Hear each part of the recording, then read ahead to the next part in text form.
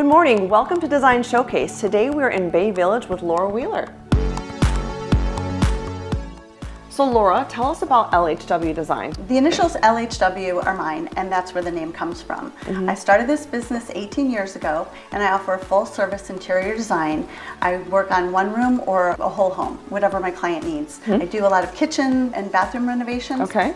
But I also work with clients if they're building a new home so tell us about this beautiful home that we are standing in with this amazing lake view. This is a full home renovation that we recently completed.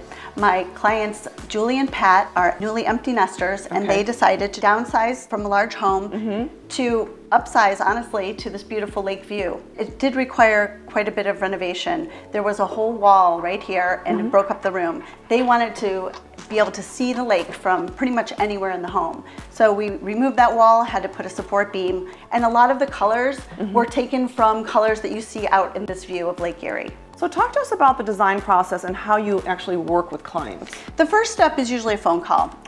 And from there, we will set up an in-person consultation in your home. I work on the project mm -hmm. and then I come back to the client with some options. There's several things that differentiate me from other designers. One is I have a four-year interior design degree. Mm -hmm. And besides all my experience, when you hire me, you're getting me from the start to the finish, mm -hmm. every step of the way. Okay. So what would you tell our viewers who may be interested in hiring an interior designer but have never really worked with one before?